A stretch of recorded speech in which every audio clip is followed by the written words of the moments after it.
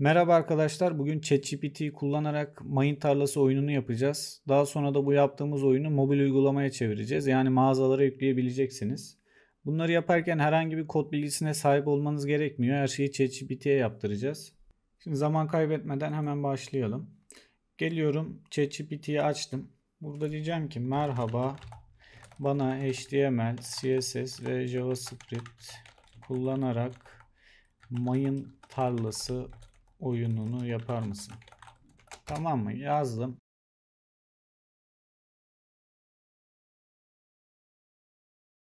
HTML'imizi yazdı.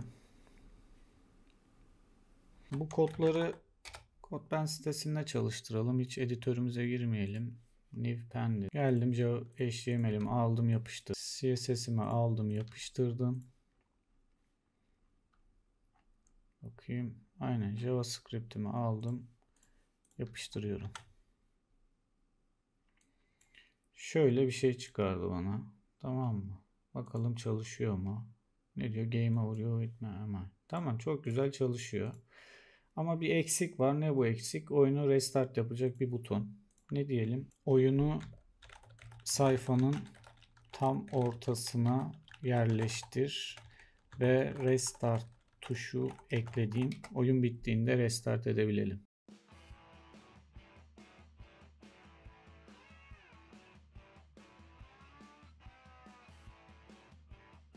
Tamam kodumuzu yazdı. Çok da güzel yazdı. Şimdi hemen bir kontrol edelim.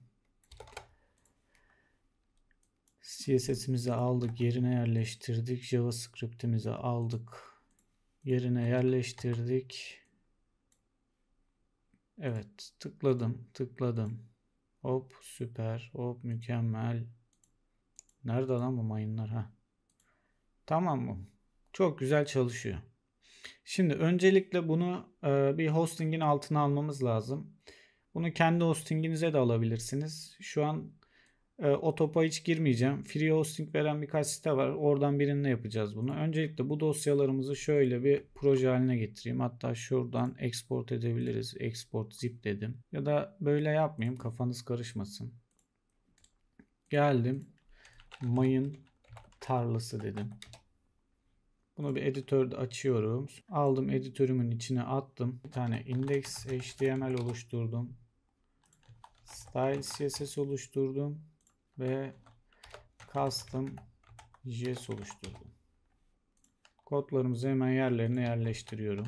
Buraya da JS'yi çekeyim. Custom JS. Bir çalıştırayım. Open Live Server dedim. İstersek bu butonla biraz şekillendirebiliriz şu şekilde. Şöyle sayfanın sağına alayım. Bu tamamen sizin tercihinize kalmış.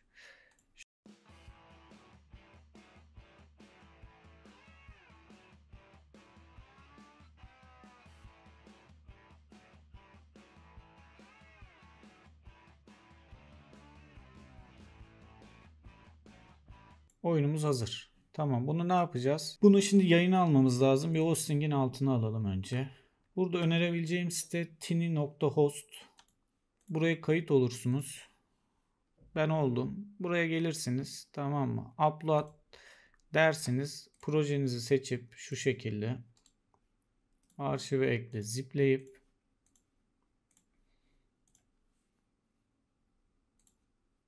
mayın tarlasını yüklersiniz. Publish edersiniz. Süper. Ne oldu? Sitemiz yayında. Tabi burada free olmasının sebebi altta bir banner açıyor. Bunu isterseniz kendi hostinginizin altına da alabilirsiniz. Gördüğünüz gibi artık şu URL'in altında sitemiz yayında.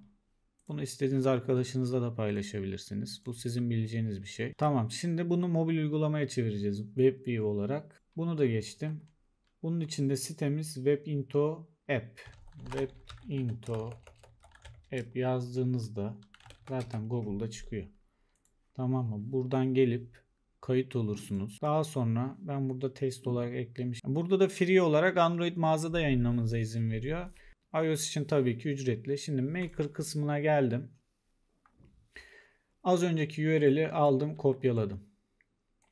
Tamam mı? Yapıştırdım buraya. Şöyle bir tane ikon seçmemiz lazım. Ben bakayım ve indirmiş miyim? Burada video game. Şöyle bir ikon yaptım. Simülatör kısmına ben de hiç denemedim ya. Bir bakayım. Ha, bu şekilde gözükecekmiş mobil uygulamada. E tabi buraya CSS'te biraz oynarsınız. Ne bileyim background verirsiniz. Şuraya bir şeyler yaparsınız ama ben şu anlık o topa girmeyeceğim. Oyunumuzun adı Mayın Tarlası. Yaz yazayım buraya company name'ine. Burada versiyonlar. Bunun güzel yanı buradan çıkan APK'yı Google mağazada direkt yayınlayabiliyorsunuz. Bakın burada splash screen'ler falan var. Çok güzel. Geldim. Buraları doldurduk. Adını URL'imizi yazdık. İkonumuzu seçtik. Her şeyimiz tamamsa make app diyoruz ve uygulamamızı oluşturuyor.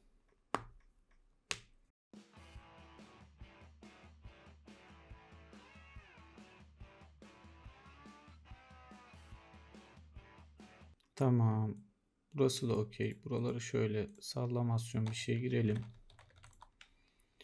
Uygulamamız buraya geldi. Buradan dosyalarımızı indirelim. Şöyle mayın tarlası zipten çıkaralım. Android için gördüğünüz gibi mağaza uzantısı APK, Key çok güzel. Hepsini verdi. Artık şu uzantıyla mağazaya uygulamanızı yükleyebilirsiniz. APK'yı da simülatörde kullanabilirsiniz. Şimdi zaten şuraya bir yere Android'de nasıl çalıştığına dair bir şey koyacağım. Bu kadar. Umarım bir yerde işinize yarar.